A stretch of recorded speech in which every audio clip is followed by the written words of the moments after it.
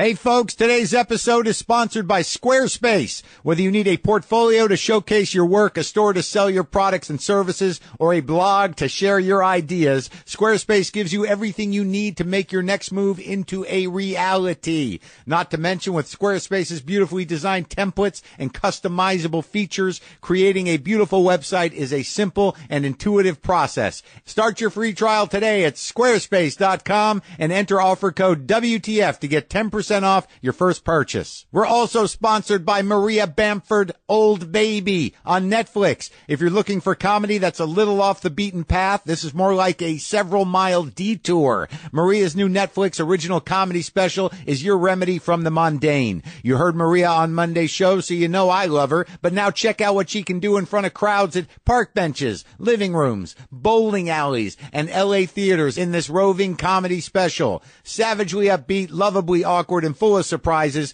Take a wildly funny trip through a one of a kind comic mind. Watch Maria Bamford, Old Baby, now streaming only on Netflix. All right, let's do the show. Lock the gate!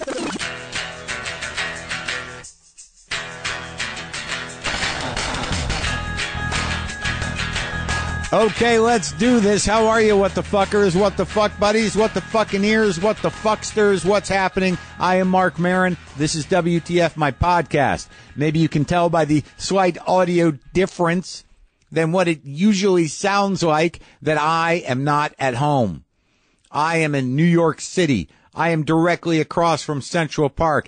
I can look out the window and see horses and people and joggers and bikers. And it's beautiful here in New York looking over Central Park. Just to the left, there's some Trump owned property that I went down to the restaurant and I sat there and they said, you want to look out the window at the door to uh, the Trump Park or whatever it is? And I said, I don't know. I think I see enough of that name everywhere else in reality when I look at anything that maybe I'll look towards the lobby. That's New York City. Kevin Bacon is on the show today. That's exciting. I always wanted, you know, Kevin Bacon's one of those cats, you know, it's like there's always been a Kevin Bacon, you know, not the, the game aside. You know, it's just like throughout my whole life, he's, I, we're about the same age, but he's just always, Kevin Bacon's always just right over there. Where's Kevin Bacon? Oh, he's around. And he's just always been part of my life, you know, as a, as a personality, as an actor. And it was, uh, it was interesting to talk to him because he's a solid dude. He's a solid actor. He's always fucking good. And it was exciting to have the opportunity to talk to him. New York City is fucking beautiful. I'm happy to be here. I haven't been here in a while, but it has been very busy. I'll tell you why I'm here. Because we're doing what they call in the, uh, in the racket. I am here doing a bona fide press junket for the uh, upcoming Netflix show, Glow, the gorgeous ladies of wrestling. I'm, I'm here with, um, Betty Gilpin and uh, Alison Brie. And basically what a junket is, and I'll, I'll, be honest with you, this is the first time I've ever done this. I, am very proud of the show. It looks great. It's original. It's interesting. It's funny. It's, uh, it's deep. It's a, a world that you haven't seen before. And it's exciting. It's exciting to be part of it. I, obviously I acted on my own series for four years, but that got little to no attention and certainly not a press junket. So this is my first time doing this. It's where they, Netflix has flown us out here. They put us up at a hotel I usually don't stay at. It's fancy. And yesterday you get up in the morning and the three of us go to another location, another suite in another hotel, and we sit there in front of a camera crew and every four minutes someone from a different local or national network outlet comes in and interviews us with slightly different uh, approaches to interview. Four and a half to seven minutes for three hours. And, you know, you get a groove going and we've got a good chemistry, me and the ladies.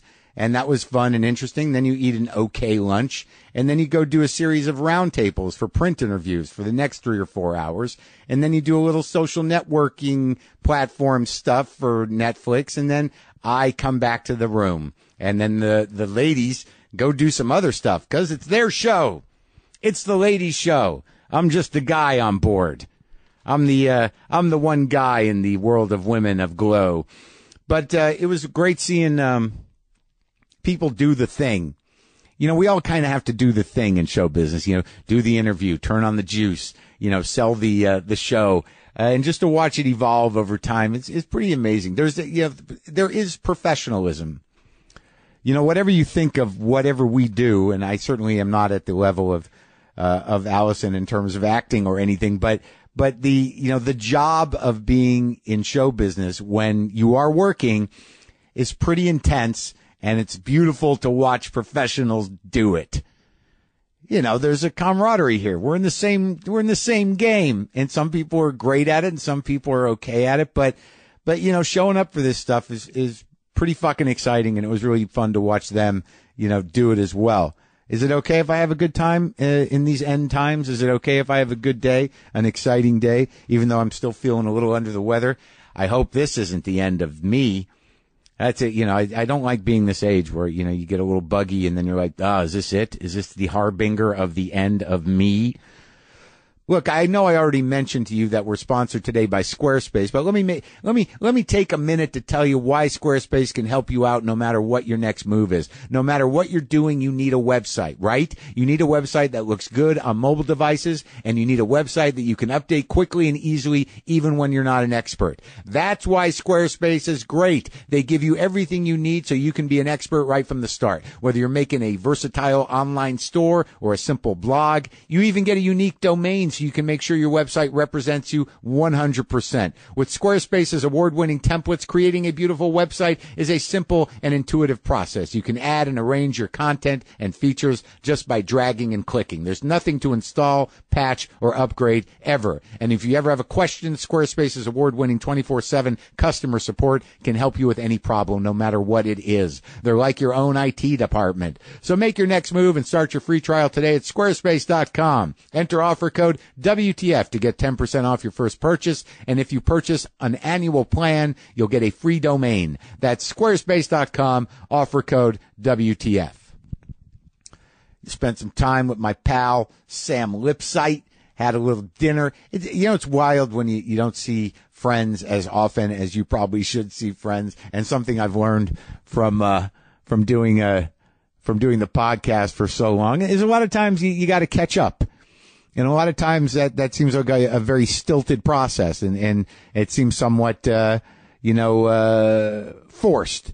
So it's funny with me and Sam is that like when, when I see him, I'm like, you know, do you have a few hours?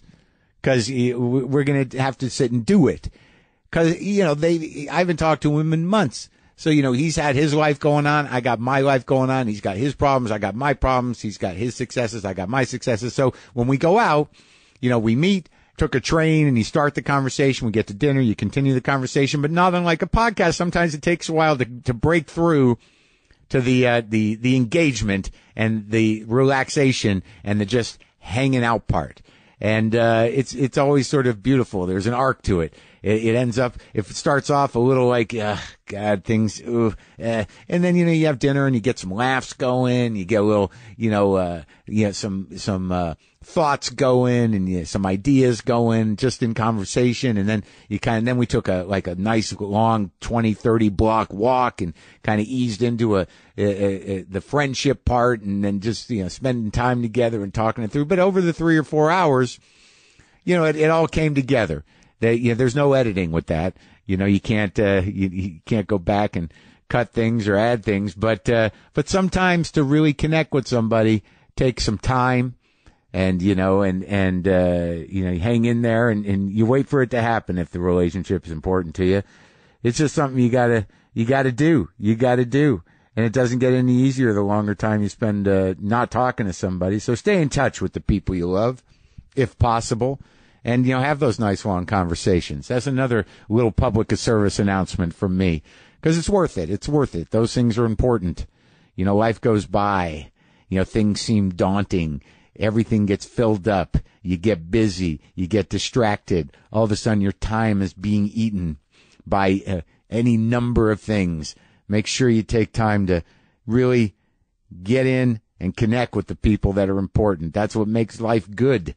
There are things that make it good. It's not just like, oh, I gotta, and then I'm gonna, and then like, oh my God, what happened? Is this gonna, why I gotta be that the thing? And I don't know if I can do that. Oh, what's, what's on for later today? Where do I gotta be tomorrow? Why is that person calling me? Yeah. Shut it down. Take some time. Connect with some friends. Today's Thursday, so tomorrow I'm going to be in Philly. I think there's a few tickets for the Philly show. It's tomorrow night, May 12th at the Merriam Theater. I think there might be a few tickets for that. That's my second to my last date of this tour, um, which may be the final tour for a while. And then on uh, Saturday, May 13th, I'm going to be down at the Warner Theater in the heart of the beast, Washington, D.C. I wonder how that place feels now that, you know, things are, are shifting. But I believe that show is pretty close to selling out at the Warner Theater. If you want tickets uh, for either of these shows, you can go to WTFpod.com slash tour and, um, go. There's direct links for you there to go to the place that has the tickets. And on June 3rd, the next live appearance is BookCon. Uh, also, there's a, a link for that at uh, WTFpod.com slash tour. That's uh, me and Brendan, Brendan McDonald, my uh, producer and uh, business partner, are going to be down there doing a thing for the book, waiting for the punch, which is very exciting. The more I think about that book, the more excited I am for you guys to get your hands on it. You can pre-order it. You can get that uh, link too, I believe, at the website under book. it's very clever. Waiting for the punch. Yeah, you can pre-order the book. And I tell you, man, it's like, it's so wild to read what people say. And it, it's just one of those books that you can pick up anywhere, uh, you know, and just get into, you know, open it up anywhere and, uh, kind of engage with it. Sort of like conversation, but, uh, very proud of it and very excited to, uh, to get it into your hands. So what else is happening next week? I'm gonna I'm gonna be shooting another episode of Joe Swanberg's Easy in Chicago, and then I think finally I get to uh, to relax as much as possible in the current uh, world that we live in. Uh, it's been a long run between the tour, of the podcast, um, Glow, the uh, you know shooting the special, everything else. I, I really learned. I gotta I gotta stop for a minute. I'm not gonna stop doing this, but I, I've got to figure out how to take a breath because my body is and my mind are wearing down. I'm certainly not complaining. I'm uh, excited to be busy, but uh, but uh, you know I gotta you know I feel beat up, folks. I feel beat up. Kind of a funny thing happened on the plane. I ran into somebody on the plane, and I you know I think I I should probably tell you about it, but let me just do this first because I you know it was one of those things that uh, I always wonder about, and it was sort of confirmed. Well, in this specific situation. All right, one second. We're sponsored today by Audible presenting Ponzi Supernova. Ponzi Supernova is a six-part Audible original series that sheds new light on Bernie Madoff and the biggest Ponzi scheme in history. This original audio documentary series tells the story you think you know. Bernie Madoff, legendary fraudster, is sent to prison for orchestrating the largest Ponzi scheme in history, but that's definitely not the full story. It's drawn from hours of unheard conversations with Bernie Madoff behind bars and interviews with the SEC, the FBI, and the victims of his scheme. Ponzi Supernova takes you on a fascinating journey into the dark interior of our financial system. Follow journalist Steve Fishman as he chases the real story and talks to Madoff himself. If you love great documentaries, you're gonna love this. You can now listen to Ponzi Supernova for free on Audible or wherever you get podcasts. I did not talk to uh, Kevin Bacon about Bernie Madoff. FYI. So go listen to the thing on Audible. So I'm on the plane and I'm I'm about to sit down in my seat. I'm coming from LA to New York and who gets on the plane? Werner Herzog. Now, I thought I had a pretty good conversation with Werner Herzog, and a lot of times when I talk to people, uh, even though it's for a nice long time, whatever my emotional connection in that hour or hour and a half or however long I spend with them is uniquely mine. It does not necessarily mean it's theirs or anything else. And a lot of times I run into them. I don't have any real expectations. I don't assume that we're friends. Some people I know and I see and I think I could be friends with, but generally I don't, I don't socialize with people I meet on the podcast. But you know, Werner Herzog, that was a big deal. That was a big day. And, uh, y- you know, I, I, I felt like I, I had some familiarity with the guy that I could at least, you know, say hello. So, you know, he's getting on behind me and I'm about to sit down and I go, uh, uh, Mr. Herzog, how, how are you? And he looked at me like he had no fucking idea who I was at all. But, you know, I think that's the way he looks. And I go, it's, it's me, Mark. You know, we talked in my garage. He's like, oh, yes, yes. Uh, okay you know, and, and I'm like, uh, okay, yeah. He's like, hi. And, and he just literally gave not a fuck, not one fuck. And, you know, I wasn't hurt. I, I wasn't surprised. I'd, I'd actually be surprised if, if, if Werner Herzog didn't do that. But there was part of me that I'm like, God, does he even remember that we talked? Is it, you know, and oh my God. And then it was just, it was, it was kind of funny. I, I found it funny. I was not insulted. I, I was sort of uh, happy that that's the way he responded. And, uh, you know, and then I thought like, you know, okay, so he's sitting a couple of seats behind me. There's Werner Herzog. Uh, you know, what if the plane goes down? Would he be narrating it in his mind? The plane is crashing. They're screaming all around me. Smoke is filling the cabin. I realize now I know the man who said hello to me. It is of no consequence now. I do a terrible Werner Herzog, and I'm not good at impressions, but uh, I thought it was a good idea. I thought it was a funny idea. That maybe he would remember me in that flat presentation. I'm not going to explain the fucking joke, folks. So, Kevin Bacon uh, is on the show. He's in this new series called I Love Dick, which I watched like three or four of, and I thought were it was again not unlike uh, a lot of shows now. It's like a completely surprising world that you would never know about, or it's hard to believe it even exists. But it's kind of an interesting show. Kathryn Hahn is fucking genius in it. Griffin Dunne also great, and uh, Kevin is great. Uh, it's it's produced, executive produced by Jill Soloway. Uh, it premieres tomorrow, Friday, May twelfth. Uh, again, on Amazon. It's an Amazon series. And this is, um, this is me and Kevin Bacon back in the garage. So what, how's it going? It's going pretty well. Yeah, you don't live out here though. Uh, I finally, uh, a few years ago, broke down and got a little place out here. You did? Yeah. Um, so my wife and I were kind of like very committed LA haters. yeah, know? yeah, sure. Yeah. And and uh, you know, we I think so often we kind of defined ourselves with this New York kind of thing. Right. And and she grew up in New York. I grew up in Philly, but I moved to Right. New York when I was a kid, when I was like 17. So I definitely felt more connected to that. sure. And um, it, you know, the reason. Uh, I guess was kind of complicated, but I think part part was sort of like this um, kind of love hate thing that I Yeah. have with this with with the business and Uh-huh. with the city and all Yeah. that kind of stuff. You know. Yeah, sure. But uh, she was on a television show for seven years. So for seven years straight, Yeah. six months of the year, uh, some combination of the two of us was living either in a hotel or a rented house Right. and um, eventually on the at the very last year of her show, or I guess it was eight years now. Yeah. think about it.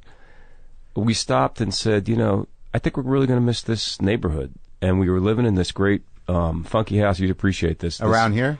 yeah, yeah, and and uh, this house uh, was um, built, I think, in the um, in the twenties, and it's uh, owned by a Italian rock star. He's like the he's Oh, like, yeah. he's like the Bruce Springsteen of Italy, and he bought this house as an investment and, and rents it out.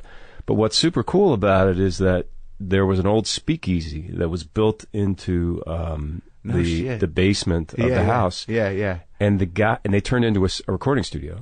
Uh huh. So it's like this fantastic. And you do the music. Yeah. Is it usable? It's oh, it's it's fantastic. So we we rented that house and then moved up the street, and you know, I love L.A. now. Oh, I've, no. I'm- I've completely turned around. it I, got you. I, I think it was. I think it had. I don't really know what it is. Growing up, or or changing my attitude, or um, appreciating uh, a different neighborhood. You know, kind of being like over on this side of town, and I, I don't know. Now, I- now I'm like, I'm I'm crazy about it, and, and frankly, I think my wife is uh, kind of digging on it more than New York. I don't know if I'm quite there yet. That's one of the things. I mean, you might maybe you're a sociable person, but uh, out here, one of the things it's easy to get sort of isolated because you do have to drive. Like everything, everything's diminished by the idea that sort of like, now we got to go to their house Yes. on the west side. Yes. Oh, fuck. No, I know. gonna- Not gonna I know. I'm the same way. I'm the same way. I'm like, Can't we meet him halfway? Is yeah. Well, restaurant? well, a lot of times we have those negotiations with, with our friends. That Oh, we yeah. Yeah, we're like, let's let's let's look at the map and see. You. There's got to be a restaurant somewhere between us. But the thing is, is that they always they always have it worse because they've got to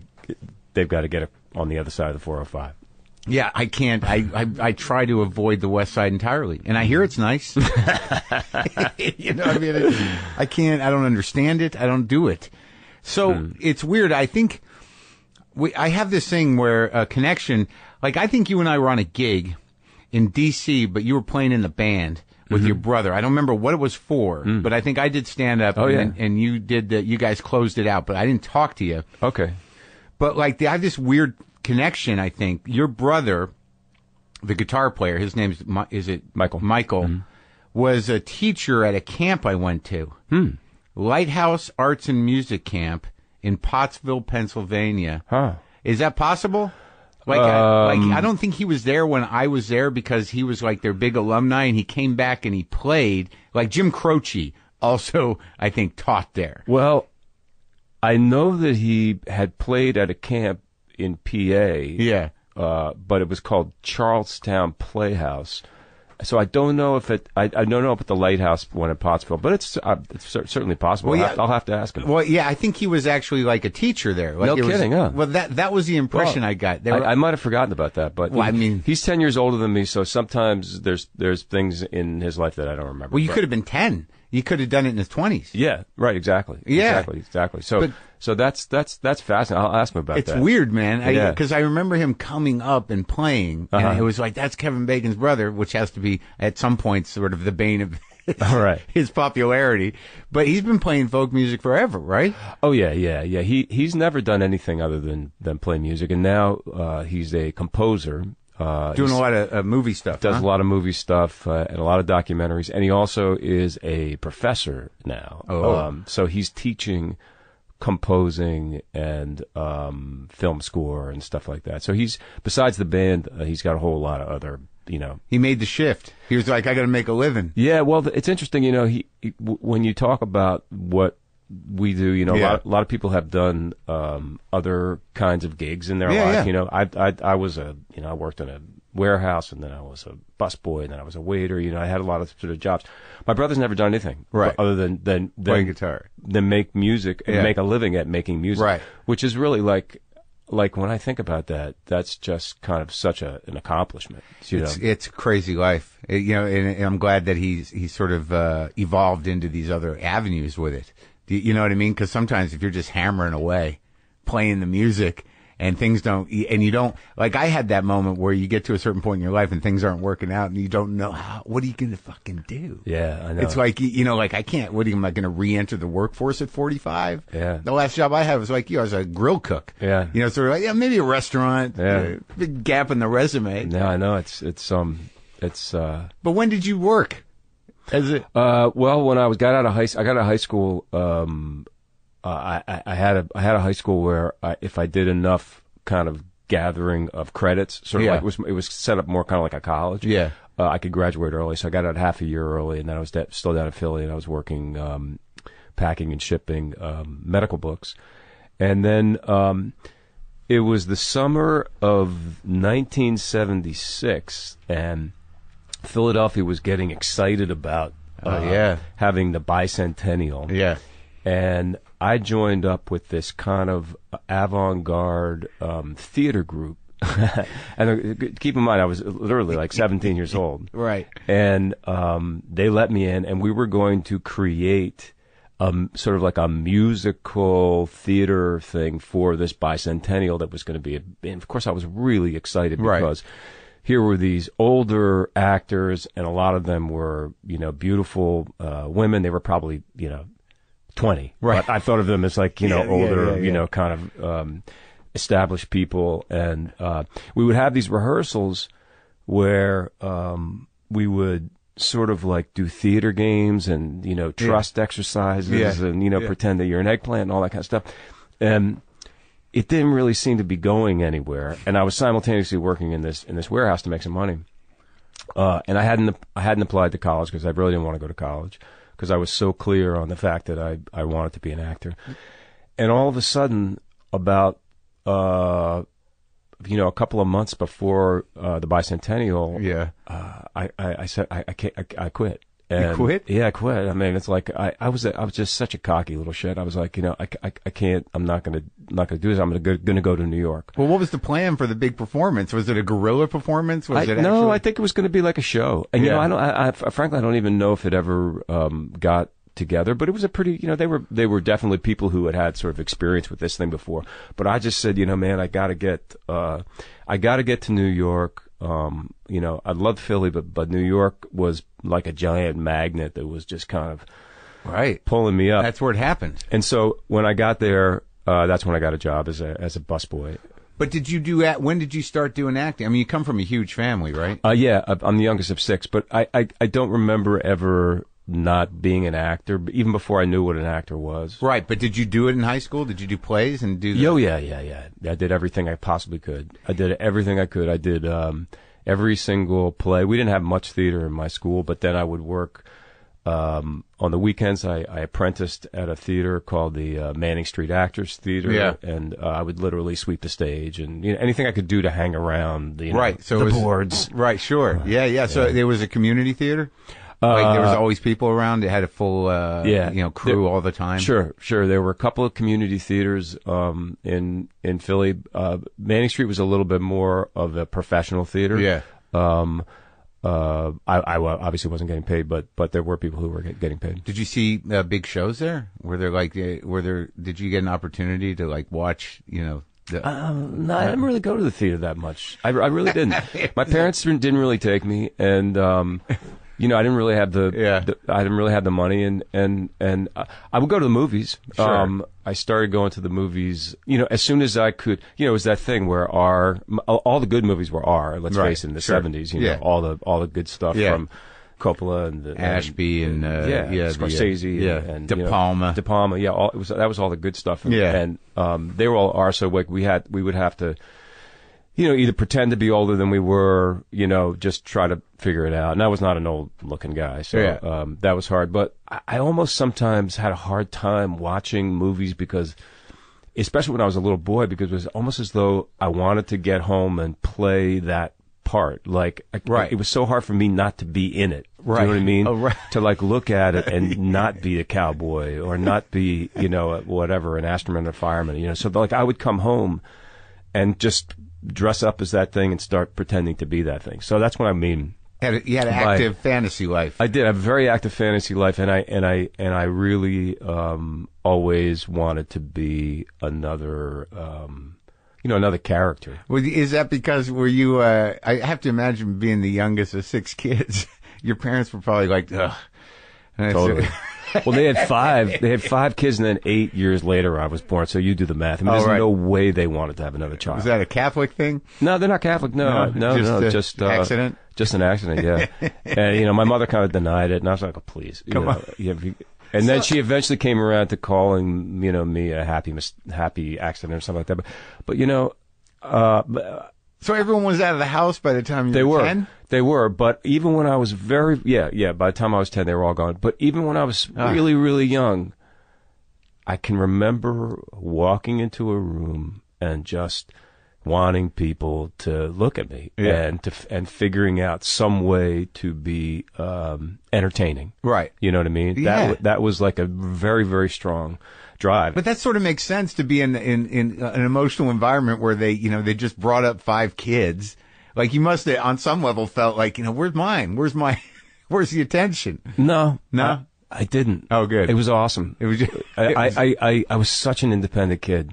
And look, I don't know if those that's like nature nurture, right? Right, Maybe right. they weren't giving me the attention, so I had to become that sure, person. sure. Maybe I naturally came out that way. I don't, that I don't know. Um, but like I, I often say that uh, when I left home, and I'm not sure they noticed that I'd split. On the other hand, they were incredibly supportive of me doing what I wanted to do. Nobody ever said, "Don't you need something to fall back on?" Oh, really? whatever. Yeah, they, it- they were very supportive. And your dad was like, what it was his game? What was his? My dad was a uh, he was a city planner of Philadelphia for many, many, many years. Oh, man. And um, he was actually uh, kind of kind of an important person because he he he was at the time when um, there was urban sprawl, not urban sprawl so much as uh, white Light? flight, Oh, white flight. white flight, and suburbs were becoming the place to be. Right, and they, it did, just uh, took all the blood out of the downtown. Yes, and his life's battle was to bring life back to cities. And they did it. They did it in Philly. Philly's like one of those places where I go and I'm like, this is great because it's got a.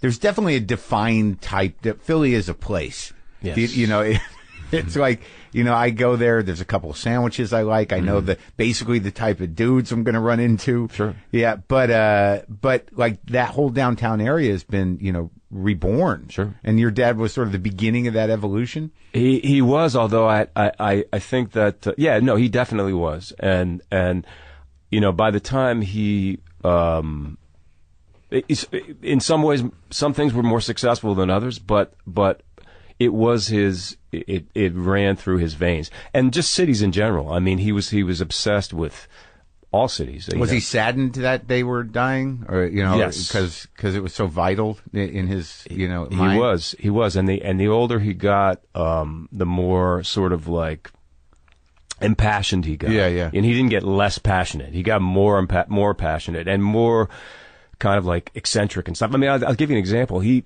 long after he retired. In fact, I think he was about ninety two. Wow, he lived for a while. Yeah, huh? he lived till he was 94, but I think he was about 92 Yeah. or 90.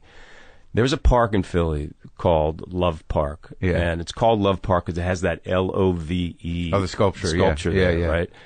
And it became a mecca for skateboarders, skaters. Yeah. Loved it Yeah. because they could grind on all these built-in things, and basically, they were kind of like the only ones who were using it Uh huh. and the city came to them and said, "You can't, you know, you're you're fucking up all the all the furniture and all the all the you know the the, the Right. everything is like be, being destroyed. So we have to kick all the skaters out of Love Park." And my father, No love there. there's no love there, right? so it became illegal, okay, to be on a skateboard in Love Park. Yeah. he went down and got on a skateboard, tried to get arrested. At 92? Yeah, he, he, they put a they put a um uh, uh, uh you know helmet on him, and had a couple of people hold him and like rolled him around on a skateboard. I think there's actual video of it. Yeah. and I don't think the cops actually arrested him, but that was his dream because he so he actually at that age, believe it or not. I'll run into skaters that'll say, "Oh, your dad was the music, dude. Your dad was such a hero for us, man." And I think they actually have ended up having like a um, not not having anything to do with him, but I think there's actually a, a Love Park video game or something like that. Oh, so, yeah. So it's like that kind of stuff, like the For a pe- skateboard video game? yeah, Yeah, yeah. People using spaces, public spaces, was really really important to him. So that's, and so are all your sibs still around? Yeah, yeah. And yeah. did any of them, any other ones other than your brother Michael go into show business? no, Mm-mm. no. Did they go into city work? Did they Uh, go- but yeah, some some are in city work, and um, one is a, uh events um, planner, another works for Arts Council in Vermont, and um, uh, another is in you know the private sector. You know, Oh, they- they're in a whole, whole bunch of other stuff, and and we're very you know very close. Uh, Really? That's group. great. Yeah, yeah. Um, we uh, we do the big family thing? we do. We have a giant um, Thanksgiving. Oh. We don't do Christmas, but we do a giant Thanksgiving. Well, that's nice. It's amazing. We do it at our house in, in, in New York at our apartment. And everyone's got kids, so there's like 50 people there? It's about yeah. It's usually about f- between forty and fifty. Oh, my god. Yeah, because God. my wife has a big family too. You know, she's got like a Brady Bunch kind of family. Right, so- and she's like um, deep New York. They're Yeah. all around, right? yeah, yeah. It's it's it's crazy. It's it's it's my favorite. It's my favorite holiday. I mean, because what's wrong with eating and giving thanks? No, nothing. And you know, sometimes once a year you see everybody. It's good. You know, awesome. for for most people, that's like just the right amount. Yeah, then we got that day or two, and then we're out. Yeah. So Yeah. uh, when you started the acting, because like you know, it's weird that, that when you were coming over, like I, my memory of you is is pretty you know entrenched. Like you know, you're part of my cultural uh, you know upbringing. You know, Kevin Bacon was sort of always there somehow. But when you started, I mean, really young, going to New York. So did you did you train, or were you just driven by cockiness? How did it How did it work? I did train. Um, With who? I, I went to the Circle in the Square uh, theater school first as a um, in their summer program, which was really for like um, uh, high school age kids, and then and then I asked them if I could audition for their winter thing. It was a two-year program. Yeah. And they said you're too young, and I said, can I please just audition? And and I got into that. And so I was um, going to school there, working as a waiter. At Circle in the Square. Yeah, I was going to Circle Yeah. the Square and, and, and working as a as a as a waiter uh, or a busboy, depending on which place I was at, but at night, and trying to you know learn as much as I could and try to and, and try to make a living. And um, Well, from those days, like, what things did you learn then that you still use? Yeah, you know, it's funny because I was in school because I kind of felt like I needed to be in school, Yeah. but on the other hand, I also had this sort of attitude that that there was nobody that could teach me anything. Yeah. You know, I, I was I was so um, such a combination of like confidence f- for absolutely no reason, uh, and also terrified. You know, my Right, yeah, yeah. you know my Yeah, that's the that's the artist line. That's the that's the edge we go on. Just Right. Paralyzing fear and weird cockiness. Exactly, it, and I feel like you need to have that kind of Sure. co- you know, combination of that. It's like the emperor's new clothes, right? You're going to be exposed, Right. You know, for for being a fraud, but Oh, yeah, but right. in order to not be exposed for being a fraud, you got to pretend like you know what the fuck you're doing. and and I didn't. While I was in school, um, I often felt like I don't really know why we're doing this, and I don't know why this teacher is saying this, and and it, it was kind of more about um, me trying to do well or do better or get Yeah. compliments or something like that. But the truth is, is that now, and you know, for many years, I'll go back and I'll think about something that I was taught, Oh yeah. and I'll go, they were absolutely right. Like that was like if I had just listened to that, you know what I mean? Like like if I left myself a little, everyone's got their journey, right? So, Yeah. You know, it doesn't really matter. It's worked out okay. But if I'd left my myself open to the fact that there were people who could teach me, not just about acting, but also about like the business. you Yeah. know? Like, you know, I had an agent, um, who, uh, you know, uh, just passed recently and, and he was, you know, my first agent and, you know, stuck with me for years and years and years. But it's like, I never let him guide me in a weird sort of way. Did he offer? Yeah, sure. Yeah, yeah. And, and I, I was just, no, I got this. I, I'm not going to do that. I'm going to do this. I'm not going to do that. You know what I mean? And, and, you know, really, I think that you, it's a, if I could tell, you know, uh, the younger me something, that's what I would say. It's like, dude, you know, just people know shit. Like, Right. From being, having been around and seen things. Hard to trust people though.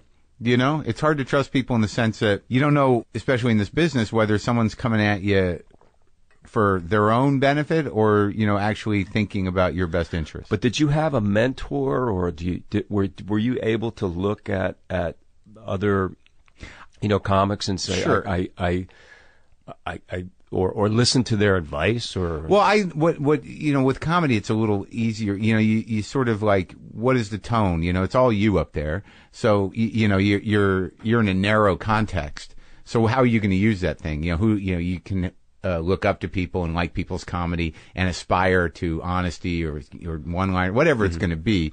So it's a little more of a gypsy sort of. Uh, but you still have to be yourself. Well, yeah, you Yeah. Mm. want that's ultimately what I wanted to get at. But you know, in terms of business, I didn't understand show business till a few years ago.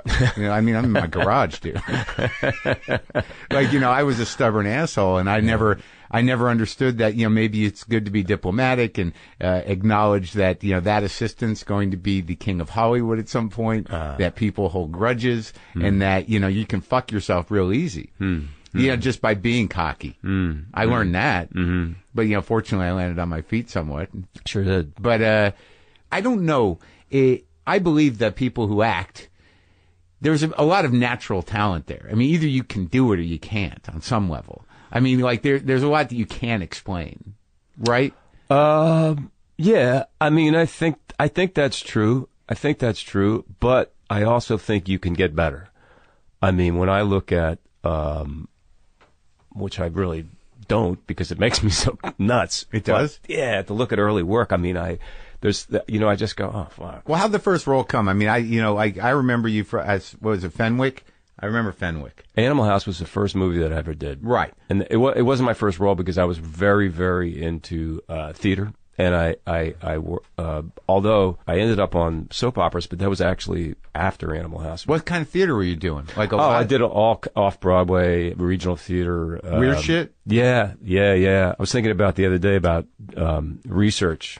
You know how you you throw yourself out. I was talking to John Lithgow in a in a in an interview about the research that both of us had done to to do those parts in Footloose.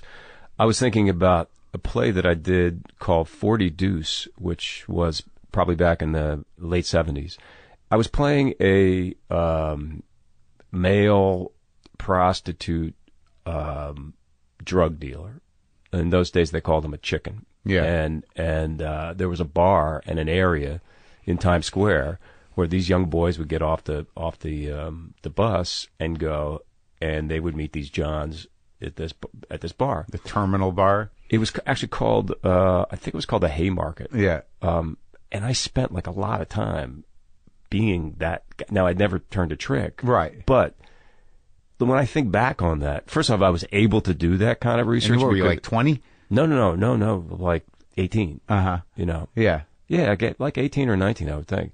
Then there was Fifty Third Street, where at night these guys would cruise, and um, I would go down there and, and and walk around, and and you know, like it was so interesting to be in a situation where nobody knows who you are. Yeah. Obviously, it's something that I couldn't really do now Right. and um, and to just look at a different side of life that's not your experience. And it's a little menacing. it was menacing. Oh yeah, it definitely was. It definitely was. So you're out there like presenting yourself as meat yes. for, and Yeah, you're getting all yeah. that weird juice. Yeah. yeah, Yeah, yeah. But um, those experiences were uh, incredibly uh, uh, rich and, and, and, and, and, helpful too. You know, in terms of just playing the part. It did. It did help. Oh yeah, for sure, for sure. So that's the kind of theater, uh, to answer your question, that, that I was doing. Down and dirty and very, very uh, kind of strong character kind of kinds of parts. You but know? you took it on yourself to to like research was is an important part of your trip. yeah,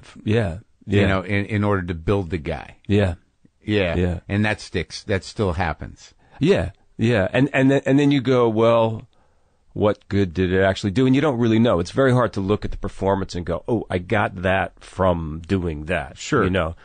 Uh, what I was talking to um, uh, John Lithgow about was was when when I got the part in Footloose, I was I was uh, 23, I think, or 24, and I was supposed to be playing a 17 year old high school student. Yeah. and I was afraid that I wasn't. I was like, how can anybody think of me as a 17 year old? So I checked myself into the high school Yeah. in Utah where we were shooting Uh-huh. as a student that had just moved to town. So basically, with the help of the high school principal and the guidance counselor, I was able to create for a day that experience that the character in the movie was going through. Now, none of the students knew and none of the teachers knew. Yeah. And that was, for instance, like very, very informative. How they me. treat you. Yeah, well, they treat me like shit. I mean, the thing is, is that here's the thing: is that I had this idea that if I'm from a big city, Yeah. right, and streetwise or whatever, if I go to a small town, Yeah. I'm gonna be a badass. Like I'm not gonna, you know, these these You got to make your mark. yeah, like Yeah. these, you know, uh, you know, farm boys gonna- Cowpokes. Yeah, they're Yeah. yeah. they're not gonna, you know. The second I got there, I was like, oh shit, I am so out of my element, and it was very much like the movie. People making fun of me, making fun of what I wore In one day? of, of my hair. In one day, of my hair, girls giggling, one guy coming up to me, taking me under his wing. Um, showing me the ropes Yeah. uh, teachers not being very nice to me. I mean, like it was like a, it, it was amazing, like microcosm of what of what that movie was. And it's was also, about. I guess, amazing how well written the thing was because it nailed it, right? it did, it did. Although I have to say, I did change a few things um, based on on that experience. Not much, but I mean, just little kind of details. But uh, Oh, yeah? yeah. Well, I mean, this is funny. I I, I just this just popped into my head. I'll give you an example. Yeah. is that this is during the time of that look you probably know where you had skinny ties and it was like men New at wave. work and new wave yeah, Right, yeah. new wave it was Yeah. kind of and i was a really big um, police fan and Yeah, yeah, and, sure. you know uh, that whole thing and in the script originally it's the mother says to me, "Shouldn't you wear a tie and a jacket if you're going to the first day of school?" And I say, "Mom, I'm not going to wear a tie." And what I realized is that a tie, a skinny tie, was going to be way weirder than than what she was suggesting. Yeah. So we switched it around. So Yeah. I'm putting a tie on. Yeah. And she's like, "Are you really going to wear that tie?" And when I show up at this school, the guys are in jeans and you Sure. know like High you know, school. yeah, Yeah. yeah, yeah, plaid In shirts the and 70s, stuff. yeah. and here I am with a like a kind of a jacket and a, and a Right. tie, and it's like I'm way more out of you know. I remember when that happened in high school because I'm like I'm 53, so I was I was in high school when the new wave thing took hold. Everybody started wearing buttons, Mm-hmm. Right. thin ties, Yeah, the sure. knack, my Sharona. Yeah, there you go. that's what turned it, I think. That's right. Well, that's wild, man. But wait, let's go back because Animal House is pretty important. Well, he came. They sent the casting director to the school, Yeah, and I didn't have an agent to the Circle Rep. to Circle in the Square. Circle yeah. in the Square, yeah. And the casting director said to the school, "Do you have any kids that might work as like a preppy uh, um, college freshman?" Yeah, an asshole. An asshole. Yeah, yeah. Who, yeah. Preppy asshole. Who's your. Who's your preppy? Who's your best? uh, Do you have a preppy asshole here? They're like, Yeah. yes, we do. um, step uh, step right this way. Yeah. So they sent me over, and I had this meeting basically with the casting director. There was really very little for me to read. I mean, I, I, I don't know if I had a lot of s- lines. Right. I mean, I did have a couple lines, but not a lot. And then um, they sent me back to meet with uh, John Landis, who was the director, and he said, "I want you to make us make us make a face like you're smarmy, smarmy. I want to I want to see if you're smarmy." and I, I I literally had no idea what smarmy meant.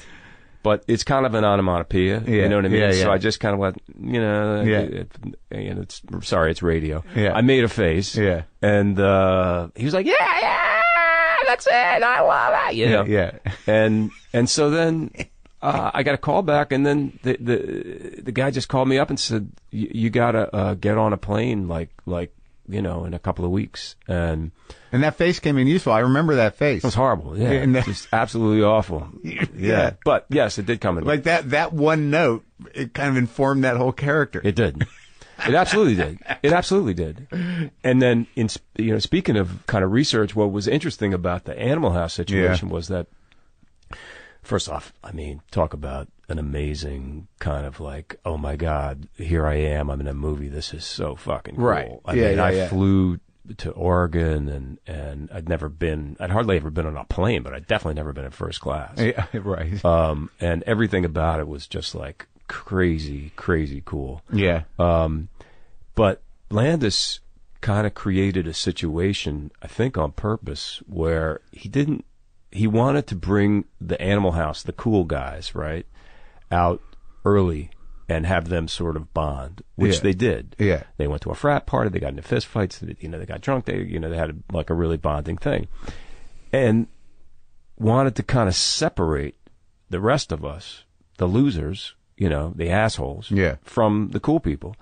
And what actually happened was that actually happened, and they really wouldn't hang out with me, Yeah. and that was difficult for me. Like Belushi and Matheson and You know, John was in a different kind of category, honestly, because he was flying back and forth for Saturday Oh, yeah, Night right, Live. right. And he had a house, and he wasn't staying in the same hotel as the rest of us. Yeah. You know, but everybody else, I'll tell you, this is an absolute true story. It's funny. Uh,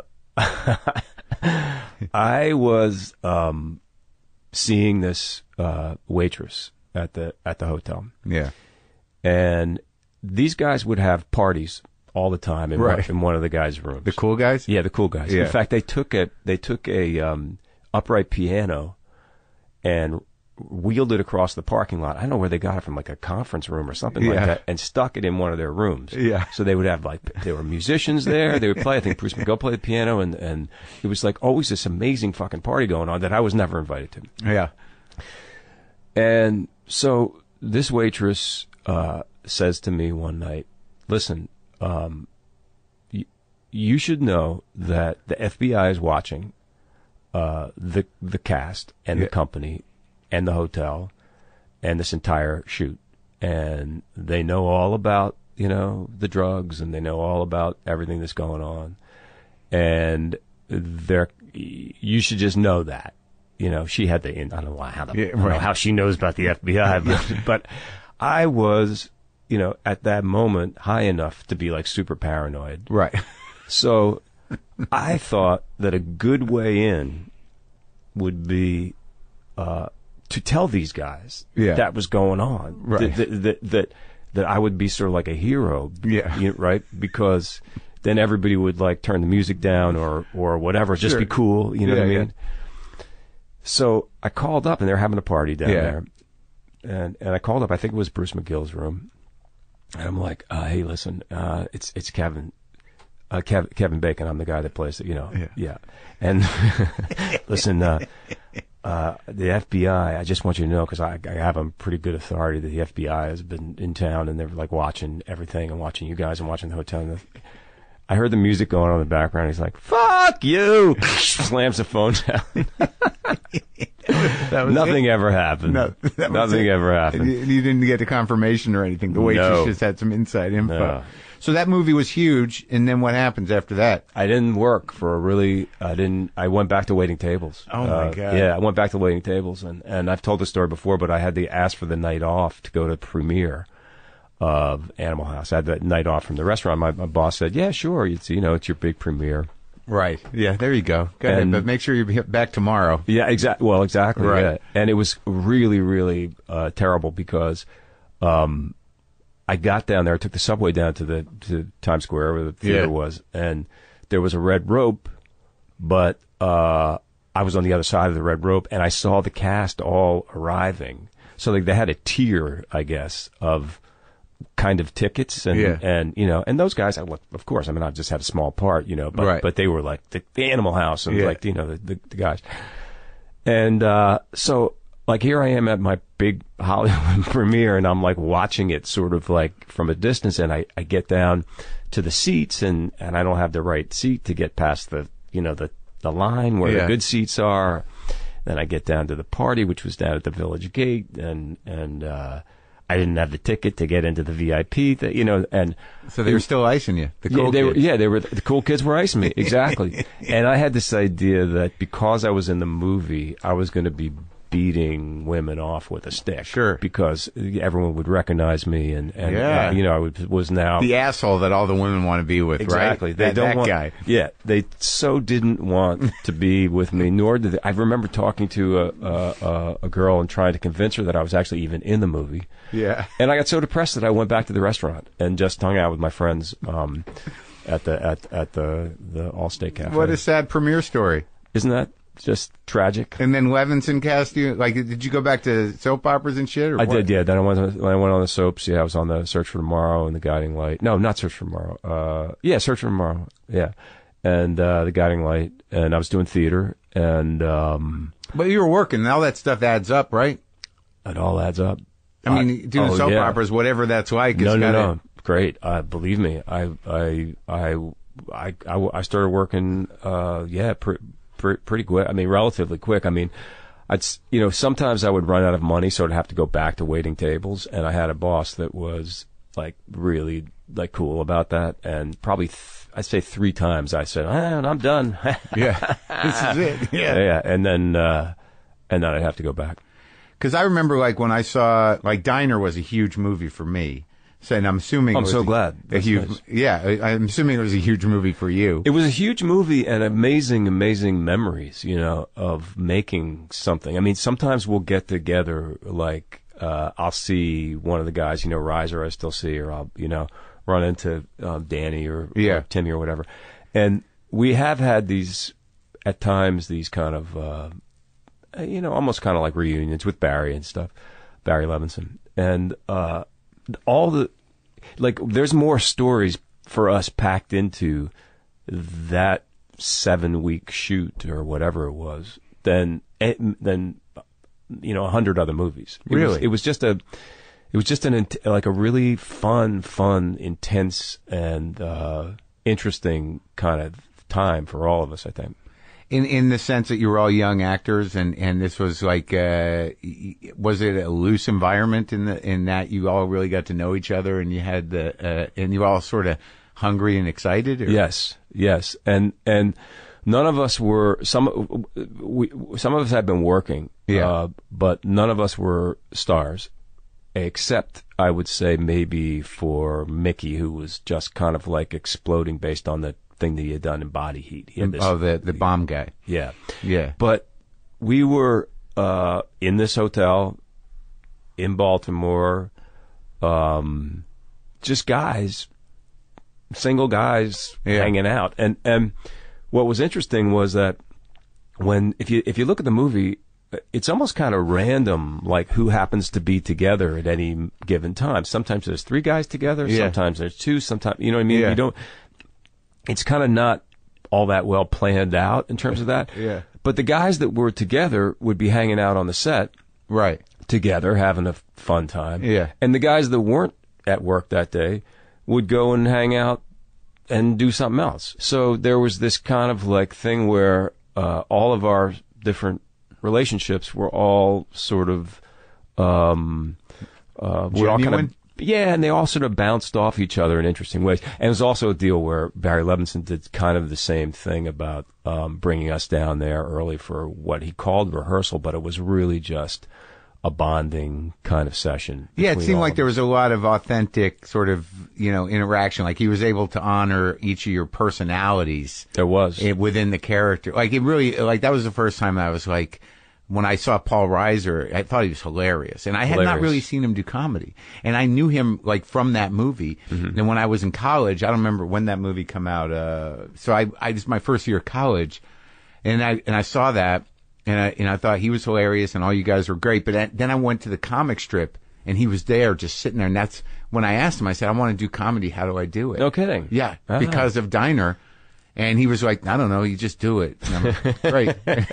That's what I tell people. It's like, you know, spend your life afraid, just get it out of your system, see if you like it. Yeah. Well, Reiser was amazing because he didn't really on paper have much of a part. Like, Right. Like when we auditioned for Diner, you would go in and pick one of the parts to read. I wanted to either play uh, Boogie because he was cool, the part that Mickey played, Yeah.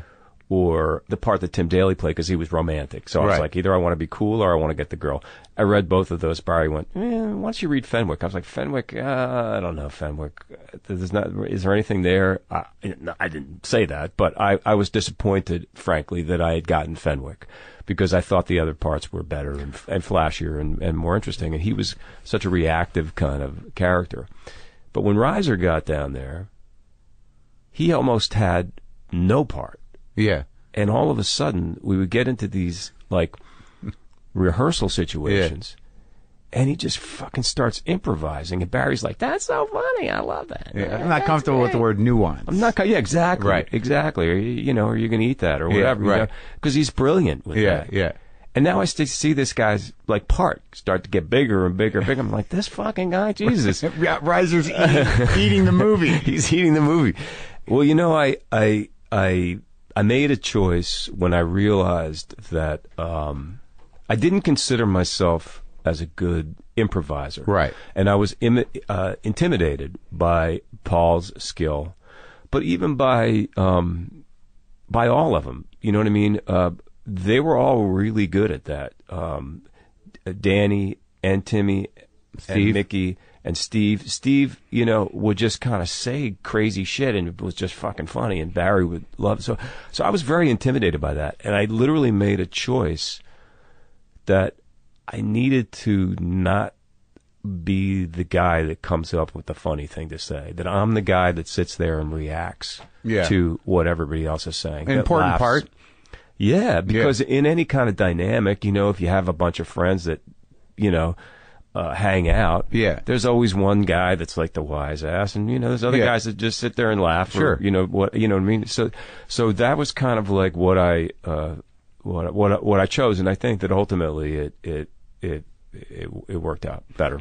Well, yeah, and, and your character is really, out of all of them, the most troubled character. He is. He's a mess. What did you make decisions about your career at that point? Because you never stopped working, but what were some of the challenges of being Kevin Bacon at that point as an actor. There were a lot of challenges, um, both professionally and personally, because I was had a real difficult time with um, the uh, you know the kind of pop star aspect of it. The, Of the, Footloose? yeah, of that re, of that Right. super super kind of like uh, you know pop star. Kids thing. loved it. Yeah, and it's n- exactly what I didn't want to be. I, I so desperately, from the time I first set foot, even before I got to New York, Yeah. wanted to be a serious actor, whatever the hell that means. That's like what I wanted to do. I wanted to do theater. I did, you know, I wanted to be De you know, Niro or De Niro, Yeah. and Meryl Streep, Yeah. and Dustin, and Yeah. you know, Jon Voight, you know, like like like you know, Respected. Yeah, work you know work with Cassavetes. You know, what Yeah, I mean, like this sure. this is this this was the stuff, or or theater, or Yeah. know, Kevin Kline. You know, Yeah. And now I was a pop star, and Almost, so it's, it's like one one. It's like the next level. Uh, it's just above child actor. Exactly. Right. Exactly. And e- everything that I had done up to that point was sort of nobody knew it. You know what I Right. mean? You you you th- doing an off off Broadway play is Sure. you feel that it's just as important, Right. But nobody fucking knows, Right, You know, so it doesn't Yeah. really. Yeah, we made a difference tonight. Yeah, ex- for those twelve people. for those 12 people. exactly. Exactly. Um, and, and so I was, I had a hard time, um, I was very resistant of it. And Yeah. again, if I had been open to people giving me advice, I would have, people would have said, look, embrace it. Take it as far as you can take it. And then just do good work. You know what I mean? Right, right. Just, just, and, and don't, and make, take your time with the choices that you're going to make. but but s- use the, the the sort of star turn capital. yeah, Yeah. Yeah. But what did you choose to do? I just made bad movies. you know, I just made bad choices. You know, and and sometimes, stubbornness. oh God, I don't know. I feel like it was self sabotage. Mm. I think it was a. Uh, I think I think I, and again, Yeah. Look, you know, I don't have much of a rear view mirror when I think about these things because I like to look down the road and and and stay moving Right. forward. And I also feel like, again, the process by which you get wherever you get Yeah. is the right process for Has you. to be. Has has to to be. be. You Yeah. can't go back and change Right. time. And and and so I learned a lot, Yeah. you know, from that, from making bad choices, and I and then I was able to, you know, kind of turn things back around. So so, you know, I, it was the right thing for me to go through. You know, oh, the big picture. That was a sweet movie. That was a good choice. Yeah, nobody saw it. Um, so like, I, I like the movie. I think it's great. I love Chris Guest. I had a blast making it. You know, Chris Guest, I mean, has an, an unbelievable uh, ability to take something that is really, really true and really, really familiar, Yeah. and make it hilarious. And you know, y- when you see some of the characters. Like the studio executives, Yeah, yeah, yeah. and Right. uh, and Marty Short is my agent, Yeah, yeah. you know, and you go, can these people, like, did these people actually exist in Hollywood? And then you meet them. And then they're like, it's like exactly the same. I mean, there's things in that movie that we, Yeah. uh, my wife and I still use to this day. I mean, Marty Short has a great line where he says, they're having, he's having the first meeting with him and he goes, Nick, I don't know you. I don't know your work, but I think you're very talented. and it's like, to me, that's like, you get that shit all the time. you know, Yeah. killing you with kindness. Yeah.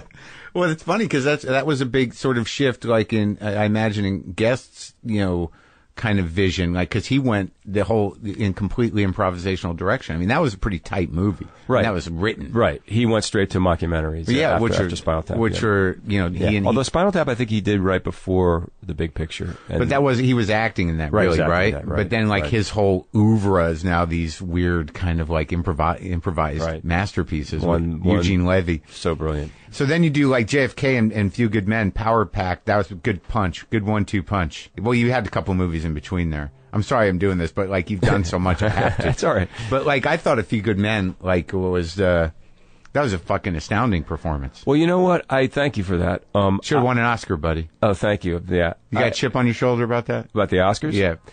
I think that to say to say that um, that's a tough question, I'll tell you, to to answer because on one hand, if you say I really don't care, then Right. it's it's obviously bullshit, Right. and it's and it's gonna feel like false humility. Clearly, you're lying. Yeah.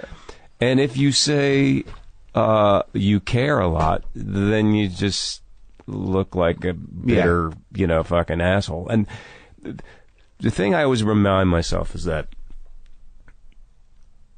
well, first off, um, of course I would like to even be nominated Yeah. for anything, Yeah. which doesn't really happen. You've, which won some. Have you? a, a, a couple of things here and there, but Yeah. but of course, and and part of the reason is that uh, it opens up more opportunities. Yeah. right. Because, for instance, there's a certain kind of movie that's made for a certain kind of budget that's going to come out in the fall, and when those people are putting those movies together.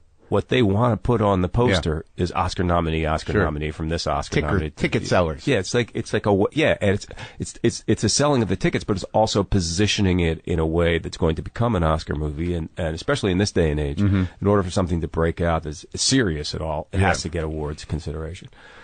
I think the So- best way to look at it is sort of like it's something I'd like to experience once in my life.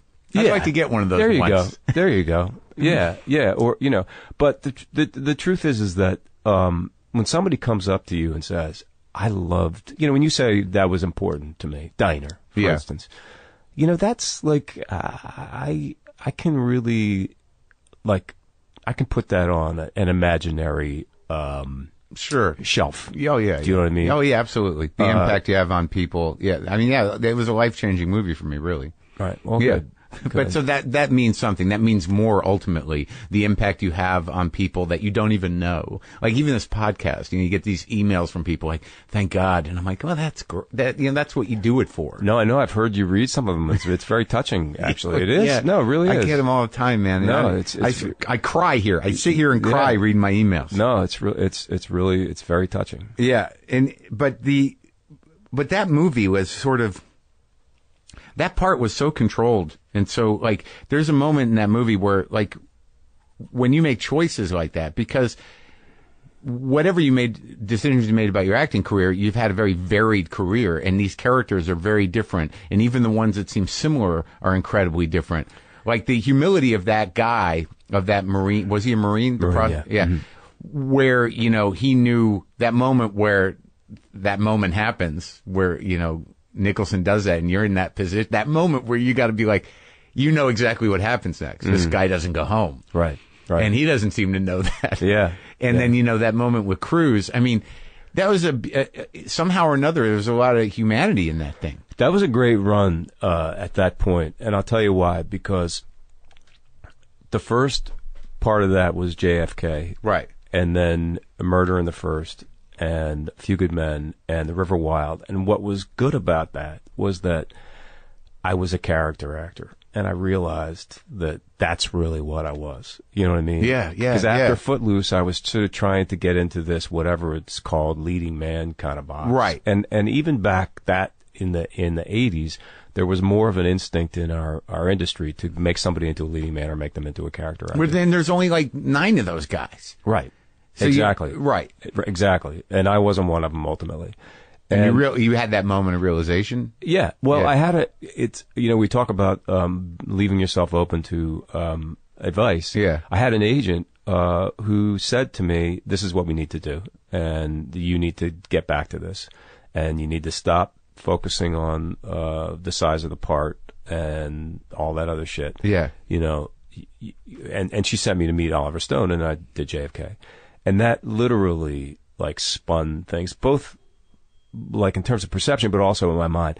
The thing is, is that And you were able to use that research from uh, 53rd Street. exactly I was. Well, I did some even crazier research for that. That's a whole other thing. Oh my gosh. What? Uh, well, you know, the guy, the guy that I was playing was based on a real guy, and he was a fascist, sort of gay. Uh, well, I guess he was gay. Yeah. Um, but really into um, like leather and I don't even want to, you know, certain kind of like really hardcore kind of sexual Yeah. stuff.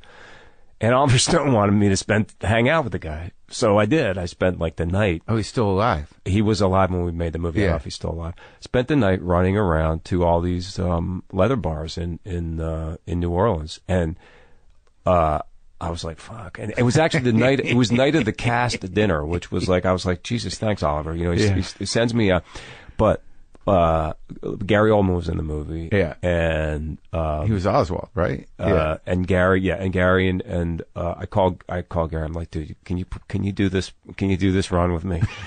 He's like, okay, and uh, so he, so so it was, it was so sweet of him. So he, so me and Gary ran around with this this this lunatic, Yeah. throughout.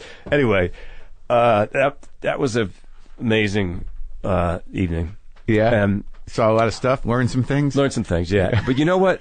When I became, when I wanted to be an actor, it was never, it was always about wanting to put on a different hat every time, you know, wanting to, you know, f- to be a different guy. Like Yeah. to me, that's what being an actor was. I Right. mean, when I look at Meryl Streep, you know, Right. she, she's like the best at that because when you line them all up, it's you know some of us have tried that, but then the most successful ones are kind of right in the same pocket. Do you know what I mean? Um, right.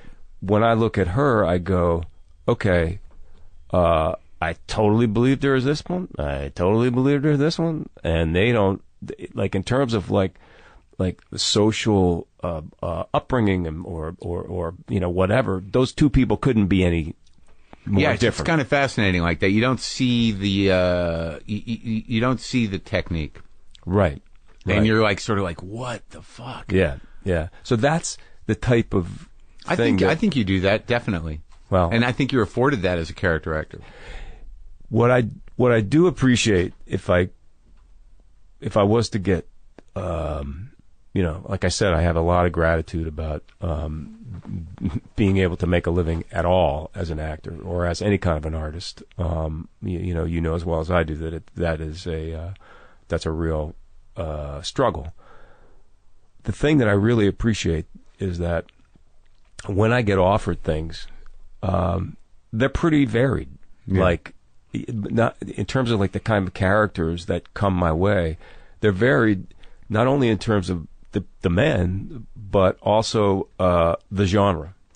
You know um things come that are you know funny and things come that are dark and things come that are intense and weird and you know. Man, you have like there's some moments of the w- weird humanity that like because I'm flashing back on some moments of of your roles. Like I don't remember the the JFK role clearly, but I certainly remember that moment in uh, A Few Good Men, and I remember the moment in Sleepers.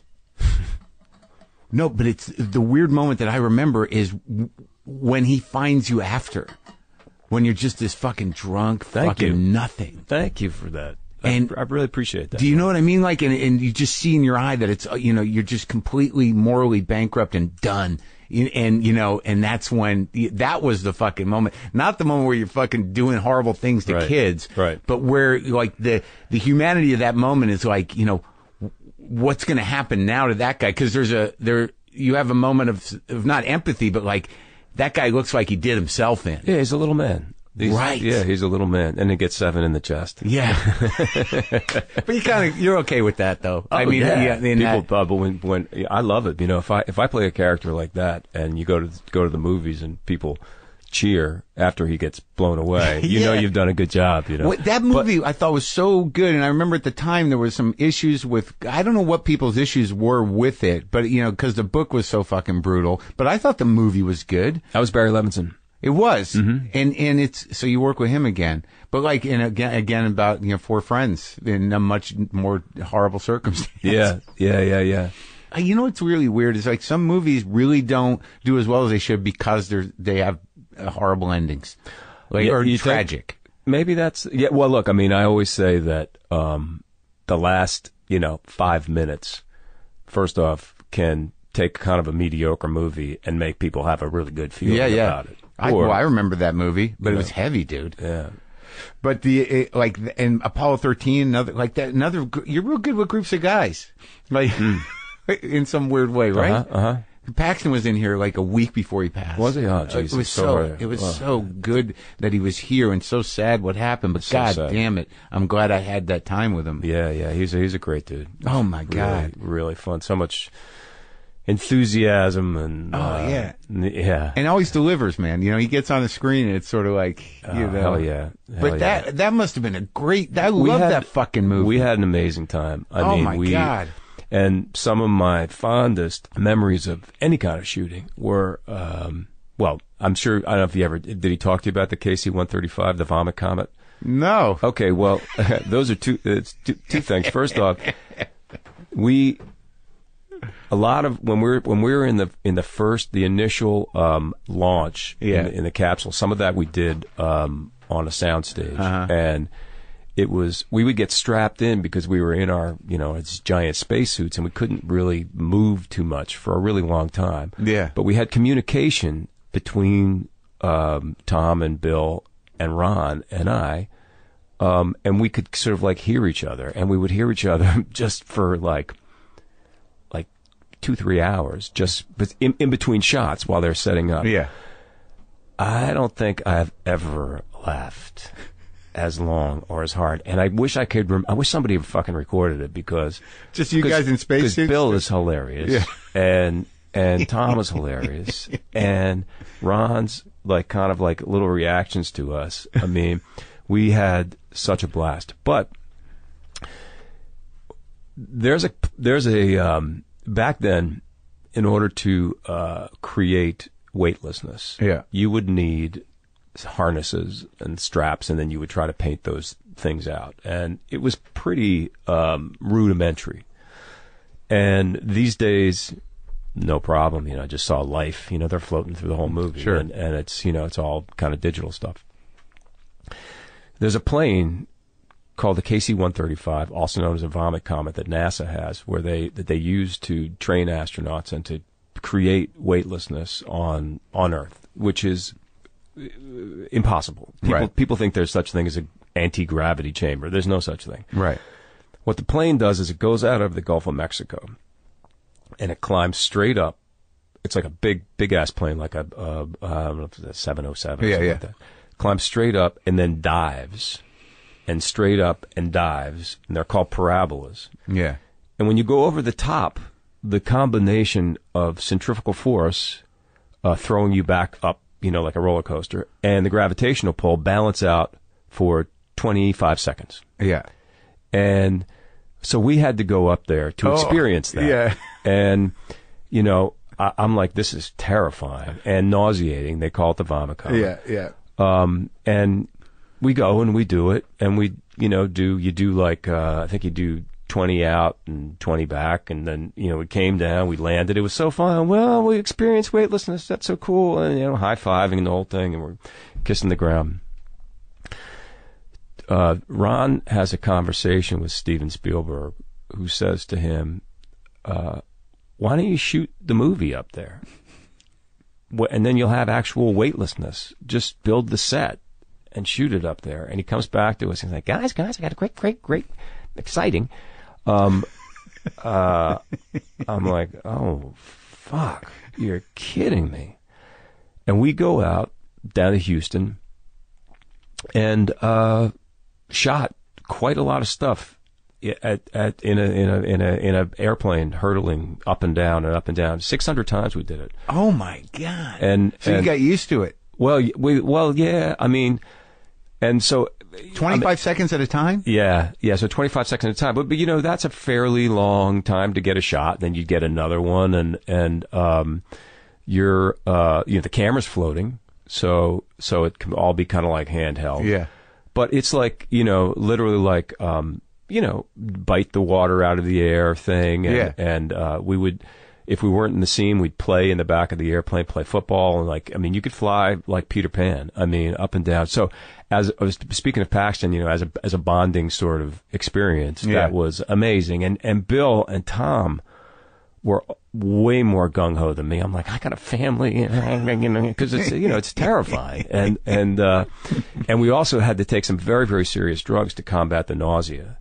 Um, so we were all a little bit like kind of you know, druggy in a weird Yeah. sort of way. But anyway, it was it was great. We had such a blast, and and he was so gung ho. Man, this is the greatest! I can't believe it. I, I mean, I just you you could not be in a bad mood around that guy on the set, Yeah. you know, because Yeah. he was so enthusiastic about the process of of um, making movies. Yeah, you yeah. know, He And loved it. He loved it. Yeah. I just watched Mystic River. It's one of those movies. If it's on, I'm going to watch it from wherever it's on, and I like doing that. I, hmm. I'd rather than you know uh, choose a movie to watch, flip around, and go like, oh shit, hmm. the good part's coming. Hmm. But like those those scenes with you again, this vulnerability that you're able to offer up on the those bits on the phone. But that moment, look at me, I'm like that idiot. That moment where where you say to Sean Penn, "What'd you do?" Huh. That was like, oh my god! And the fact is, like, you know, I I'll ask you this because I just noticed it the last time. Is that you know you know him, you know Sean Penn's character. You guys come up in the same area, and you, and you knew what he did, and you know, and he knew what he did. And then there was the the morality of the the script is that well, he did kill somebody, but you know, but in in that movie, I don't know how the book is written or how you thought of it. Are you going to get Sean Penn? because I pick out, I take my finger and I make it into a gun, And you- I you point pull it the at him. trigger. Yeah, we're at the uh, we're at the parade. I'll tell you an interesting thing about that. I went to Clint, and uh, I'm sure you've heard this before, but but Clint is not somebody who wants to uh, talk too much about Yeah. motivation and those Oh, types really? of things. No, he he really does. He he he wants you to go home, go into your room, do whatever you need to do, and come to work with your shit. I heard that about like that's an interesting thing that I'm learning from. I just talked to Walter Hill, Mm-hmm. and he said that this whole idea of directors directing actors is a kind of a myth. It's a, Right. a- and he said it's sort of like they do a job. You hire them to do the job. Right. You chose them for the job they do. Right. So do your job. Exactly. Yeah. And horrible name dropping here, but Meryl Streep said to me when we were doing uh, The River Wild, she said, "You have to work with Clint. You're going to love it because you like to work in that way where you figured it out." And Meryl's like that. I mean, she, you know, she, I mean, she would take direction Right. certainly, but like when she comes to work, it's not like she's discovering Right. character. Yeah, you know yeah, what I mean. yeah. Made choices. And Clint's very much like that. Yeah. Um, and sometimes he'll only do one take. Sometimes he'll shoot the rehearsal. Uh, everything is very, very, you know. So all of a sudden, all of us went, "Ooh, fuck, we got to get our shit together." Like, the- like we're not, the, you know, it's not going to be 18 takes, Right. You know, whatever. So we actually started to kind of like rehearse on our own, and and uh, it was You and Sean. um, and me and Sean and Tim and, and, and Fish, you know, we, we would get together and read through the script and stuff, and he, Clint was never there, you know. Um, and so when, so, so rarely did I ask him, Right. because I knew that wasn't his Yeah. thing, you know. Yeah. But at that moment I said, so Clint, um, what, what is that that I'm doing there? It was in the script too. It was in the script, yeah. To to take to take that. Yeah. It might have even been in the book. I, I can't remember. Mm-hmm. Um, uh, and he said, "Well, that's for the audience to decide." Mm. And so I said, "Okay, I'm going to make a choice, but I'm going to take that to my grave because if he wanted it to be for the audience to decide, then I'm going to, you know, honor that." I know what it was. Okay, You're going to get him. okay. Ah! Actor secrets are sort of for me. They like I've had this happen once before. I'm like, what do you, what do you got to lose by telling us now? It's the only it's the only moment that I've ever done that I that I will hold on to. But look, I think that I think that's a very astute observation. Well, it's so weird that like I bring it up to you and I have this opportunity to talk to you because, you know, after seeing that movie like six or seven times, really, uh, in bits and pieces and a few times uh, all the way through, that uh, that struck me, and that was like just a week or so ago. It was on cable, and I was like, oh, I didn't, you know what I mean? Like I didn't know what what is the real bond ultimately that these guys really have.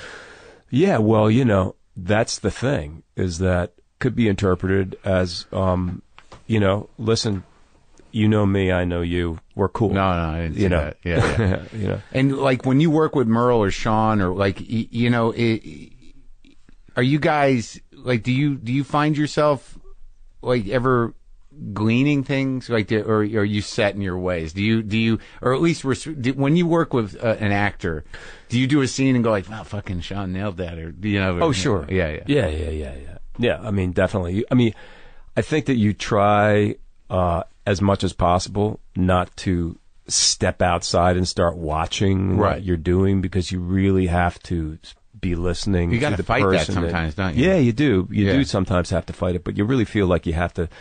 You know, I, I, especially even as I get, you know, older. I mean, it's like I really want to experience staying just kind of in it. You know, at like, like the difference between the time when uh, you, you- you're waiting to go on to the time when they say action. In a way, I'm trying to learn how to make that sort of flow into one thing. And to really feel like I'm walking in this person's shoes, not pretending to be the guy. Like I don't make people call me by the character name Right. and stuff like that. But I want to feel like I'm walking in another man's shoes at, at this time. So to actually stop and step out, either and look at my own work or look at the work of the person that I'm that I'm working with, yeah um, is kind of c- counterproductive. That being said, you da- I don't I don't look at uh, you know Jack Nicholson saying you can't handle the truth. Uh, you know, I'm going, fuck, this guy's nailing this. Oh my god, is this good? You know, I can't. I, I'm, look, I mean, I can't. You know, of course I'm gonna. Of course I'm gonna see that. even when he doesn't have to do the other side because they're doing a single he'll do it like i don't know if you had that experience with he him did it again, and Right. Again, it was one of the most.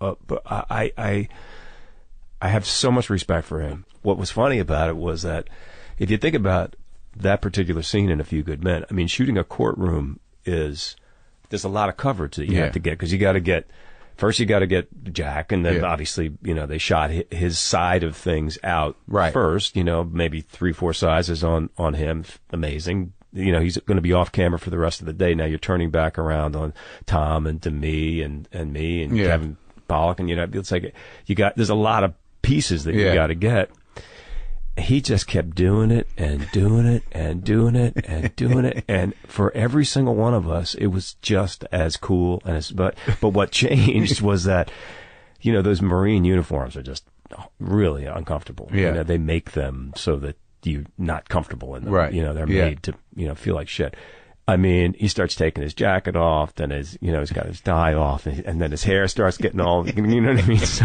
By the like- end of the day. by the end of the day, he's still doing it, but he's like this, you know, kind of like he's more Nicholson than he is, you know. right right You know. he's comfortable Yeah, it was great. Okay, so let's talk about uh, I Love Dick because you know I know Jill and Mm-hmm. and Kathryn I love, and I, I think I'm going to get to talk to Griffin. I've met him once or twice, It's great. but yeah, he is great. It, that, he's doing a, a good job in that. It's amazing. Yeah, I got to watch the rest of them. Yeah, please do. No, I Because it gets very, it gets, oh boy, it really goes all kinds of pretty, pretty interesting places. But like I said, being with an artist who's in that level of art, you know, like who you know who sells paintings, she does well for herself, Mm. and and and and getting to know that community a little bit, but still feeling outside of it. It's a very insulated, odd world. Yes. which is really great for a, a TV sh- for a show Mm-hmm. because it, it it it almost it doesn't seem fictional at all, but it's definitely outside of almost everyone's experience. Mm. So, what was the pitch for you? How did you get involved with it? Um, I got Because you're Dick. I'm Dick. I am. I got a call that Jill Soloway had a had a had a new show, and uh, it was called I Love Dick, and that I was Dick. I mentioned it to my wife, and she said, "So you're doing that one?" I was like, well, "Honey, I haven't read the script yet." She's like, "Oh no no no, you're doing it. It's Soloway," and Kathryn was attached already. She's great. yeah, she's she's Oh my amazing. God. she's amazing. Yeah. Uh, and then I spoke to a couple other women that in my life, my, maybe my daughter, one of my sisters, whatever. They're they're all saying the same thing. You're doing that one, dude. And then I read the script. I loved it. Yeah. Um, and Jill and I got on the Skype, and uh, she was in L.A. I was on the East Coast, and um, we spoke about it.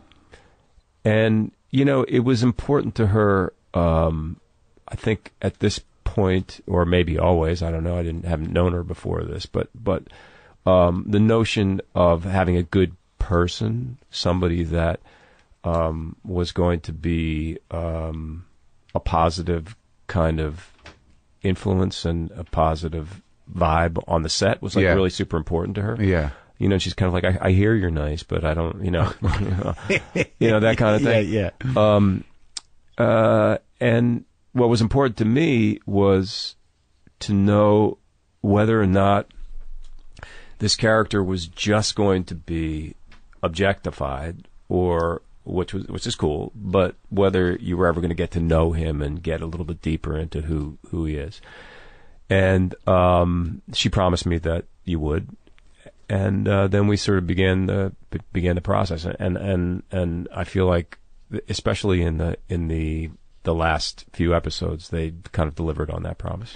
Well, the book was sort of controversial in that community, from what I understand. That uh, you know, I don't think I'm speaking out of school really, but I mean, it's a, it's based on a on a real book by this Chris Kraus person. Yes. Yeah. Who went on this uh, this thing? This uh, what do you call them? The what is that situation there? Uh, a, a residence, artist Yeah. residence in Marfa, which is now like sort of uh, the capital of uh, of art. Have you been In- No, I haven't been there yet. Yeah, that's cool. You should go. I, yeah, well, I'll go. I, we're gonna go. I, I, I'll check it out. Yeah, but but out. but it, it's really a kind of the sort of the idea that this woman who in the in the in the show is is not an artist per se and becomes immediately obsessed with you and then you know starts to present her this art project as this you know these documents these letters of obsession and things that um and you don't you, you know from the point I'm at is that you th- there's a moment there where you're like this this person's crazy or this is Sure. y- you know and that like it your your character is just holding strong to this onslaught of obsessive you know insecurity and and need and and, and it, it's like uh did you talk to the real dick No, no, I I don't think he would want to talk to me. Um, he was not happy about the book. The book is written sort of as a semi. I mean, they it really is a memoir, but but it's kind of presented almost like a novel. I think. Yeah. It- But um, no, I didn't. And uh, in the book, you very you learn very little about about him. And it's more and- about her it's really more about her and and and about Silvera, about her husband. And and what I really wanted to do was make sure that I could create a character that had some more kind of depth and interest. And and one of the th- people that I latched onto. See the book. The book actually takes place in um, uh, like uh, Northern California yeah um, had Marfa had nothing to do with it. Marfa, Yeah. Marfa, Texas. But Marfa, Texas was um, there was a there's a character there named Donald Judd, who, was, who was a famous sculptor um, living in New York, who had driven through Marfa, Texas when he was a young man on his in the army, and remembered it. And he left New York and went to Marfa, Texas, and started buying up buildings and ranches. he was Uh, the guy and he was the guy. Yeah. And he's very, very, I would say, probably a lot more similar to Dick than to uh, to the Dick in the book. right And and one of the things that I really wanted to explore with this was the nature of celebrity, mm-hmm. because Dick um, is a very big fish in a very small pond yeah and he has Donald Judd, for instance, was a was a successful sculpt, sculptor in, in New York, but maybe wasn't the most famous sculptor in New York. yeah of course and went to this tiny, tiny little town in the, middle of nowhere. I mean, it's West Texas. It takes three hours to get there from El Paso. That's the closest, you know, airport. Really? really Yeah, it's very hard to get to yeah um, and he created a a world where he was a king. yeah He was you you you, you everybody knew him. Everybody knew, knows every move and everything he does. right And that to me is a lot like what being an actor is kind of like. Yeah. You, you try to create a world where you are are are the subject of of attention and of of focus. And then once you've created that, you sometimes have a difficult relationship with that notion. right And that's what is going on Oh, for so- this guy. from the beginning, that's where you were going. That's the work you did. Th- that those are the choices you're making Yes. based on that dynamic within yourself. Yes. And, Yeah. And this, and, and, and, you know, women, um, throw themselves a dick, and and and this woman uh, is no exception, you know. And I think that when you when we were kind of talking about this before, but um, you know when when you when people hang on every word, admire you, tell you that they love you and they love your work and and all those kinds of things. On one hand, it's like amazingly great and it makes you feel so good all the yeah, time. right.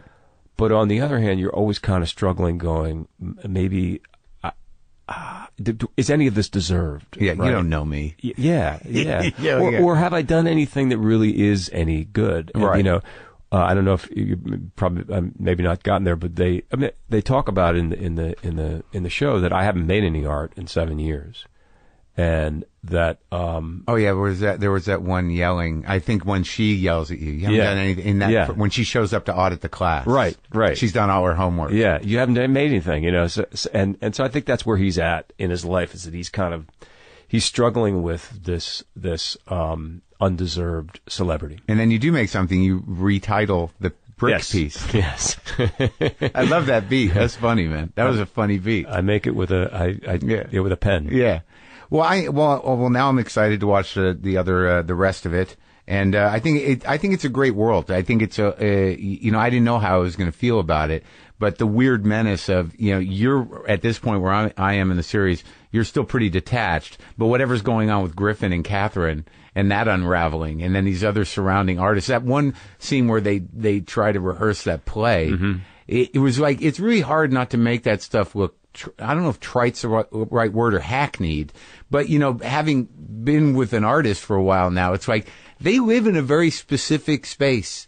Artists, yes. and it's all very earnest, and it's all very, you know, they are taking risks, but it, it just seems very insulated. And I and I think that you know that to do that for a, a, a broader audience, it, there's some you know there's some uh, traps to that, but it Yes. seems you, you, that you've avoided it. Well, I think that I think that you make a really good point, um, but I also think that uh, w- even within trying to make it not look hackneyed, I think um, Jill is still is also willing to say maybe sometimes it is. Do you know what I mean? Oh no, absolutely. You know, yeah, this, and- maybe and- it's okay if this looks ridiculous. Yeah, yeah, right. And I think that's very, that's a really fine line to walk. Plus, the other thing is that brilliantly they have chosen to uh, intercut these kind of art films. Oh, yeah, they're great. Made by women. These strange, yeah, sort yeah. of like One of them had a profound impact on uh, my girlfriend. Like when she saw it, she's like, "Oh my god, that I saw that at the show." And oh, she had already seen it. the milk one. Oh, the milk. Oh, that's crazy, right? Yeah, it's I- I- great. It's great. Yeah. It's great. Um, I saw the whole one. It goes on and on and on. and Yeah. on. Uh, but anyway, yeah. Um, I- you know, one of the things that's kind of cool is that I have a long uh, history besides like the mainstream movies that I've you know tried to make. I've always gone back to sort of like indie art house type mm-hmm. type things because I feel like whatever you know you don't get paid and you're making movie art and you know it's harder and harder to get that kind of stuff done in films these days because there's there's very little spot for it. Right. You know what I mean? Yeah. And so you're really struggling. You're struggling at uh, film festivals and you're struggling to make this kind of art. But I Love Dick is like a is like an art house movie. You know, an art house. You know what I mean? It's very experimental in the way that it's shot, in the way that it's cut, and the kind of music that it's, even in the way that we we approached it from an acting standpoint. So that was really kind of fun for me. I was like, this is fucking cool, man. This is like being back. You know, Yeah. doing some little crazy movie in the streets of New York. you know? Right. There's a, a great um, director named Andrea Arnold who directed uh, two really stunning movies. If you haven't seen them, one is called Fish Tank and one is called American Honey. Uh, she's a British um, director that Jill really admired, and is, those are they're super like art house, you know, kind Yeah. of movies. Brilliant, both of them. But she uh, directed four of our episodes, which we were thrilled to kind of have her. And I'll, I'll give you an example. One of the things that she does, which is fascinating to me, is that you'll do a take, do take, you know, a couple of takes, and then we'll do a silent take, where we just take all the words out, and we just sort of play the scene with physicality Oh, wow. or a look or um, a, a you know a, a, just a feel just a feeling. Yeah. I've never done that in my life as as, a, as an Wow. actor, and you know I've done a lot of shit. Yeah. and I was like, this is like mind blowing. Yeah, it's what- really really cool. And how is she going to use it? And you cut little pieces. Oh, in. really? And if you look at the show, you'll see that there's just moments that are just kind of like, look at that, look at her eye just for a second there, or or just a hand on a on a leg Uh-huh. or, or something. Right, right. You know, uh, they are sometimes from these silent. oh, takes. that's a that's a trip. So that that's exciting. Doing something new. totally. And you're and it- well, that must be great at, at you know where you're at in your career to, to actually be like, all right, I've never done this before. Yeah, definitely. And and I was a little bit resistant to it, frankly, because you know I'm old and jaded and bitter, you know whatever. and my wife just kept saying to me, "Just leave your heart open, you know. Just just leave yourself open to you don't, you know, even at this level of experience, you don't know everything there is to know about acting and making movies and and and you know the process. Yeah. So just leave leave yourself open, you know, to a certain extent. No, it s- sounds like you got a good partner there. Oh yeah, yeah, she's good. Yeah, yeah, yeah. She's yeah, s- yeah. She's no, she's she's smart. and you respect each other uh, craft. We do. Yeah. Well, it's great talking to you, Kevin. I appreciate you taking the time. You too, man. It was really fun. All right. I really enjoyed it.